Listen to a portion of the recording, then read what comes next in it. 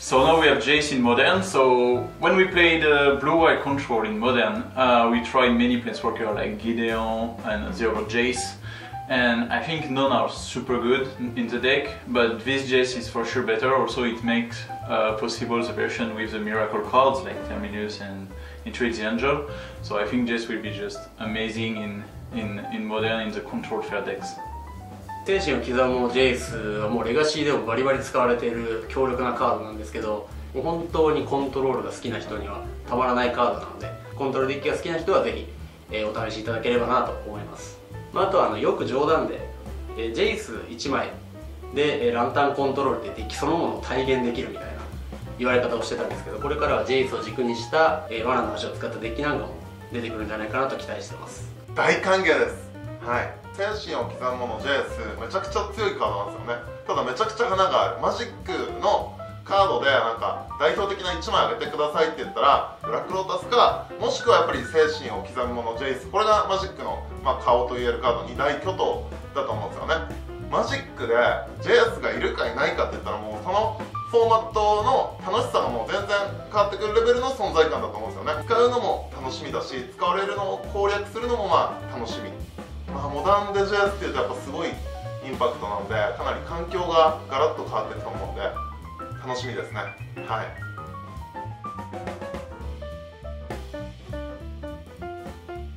So I remember the time when uh, John was the best deck in Modern. June will revive for sure. I'm pretty sure people will stop to play Abzan for sure because Bloodbrave is too good. It also helps you to to reach the, the cheaper card of your sideboard in the in the right matchup. So yeah, this card is definitely the, the, the best for this deck. And also now we have Jace in the format, and the best way to beat Jace for fair decks is Bloodbraid Elf. So it's pretty good to have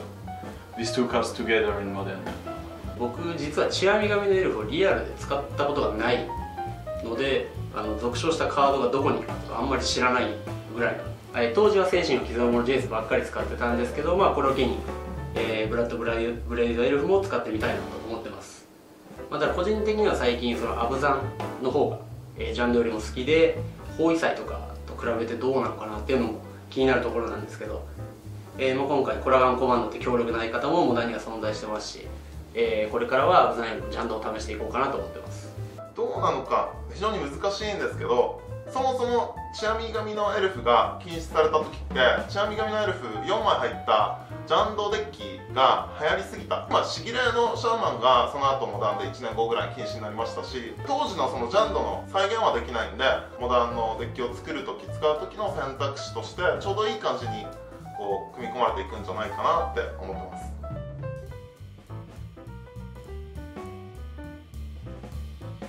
Uh, if I have a Pro Tour uh, in an unknown meta game, so I think some people will be too focused on Jace and will try many decks with Jace. And so I will try a deck with Bloodbraid Elf and a John deck with like success to discard Jace and Bloodbraid Elf to be able to attack after a Brainstorm and yeah. Uh, I will play John for sure and, uh, and uh, yeah, I think it's the best deck for to beat the Jace. So. はい、えー、ちょっとまだ時間がないので 何とも言えないとこなんですけどそのランタンコントロール1枚で体現した JS デッキっていうのをぜひ試してみたいなと。今度は JS1 枚で勝てると思うとかなり胸が熱くなるのでそういったデッキを試してみたいと思ってます。当然まあ JS 使いたいあの血網神使いたい使いたい使いたいでみんな持ってくんじゃないかなと思ってその2つ使うって言ったらやっぱペアデッキな感じになるのかなって思って、まあ、多分トロンか何か持ってきますね。はい。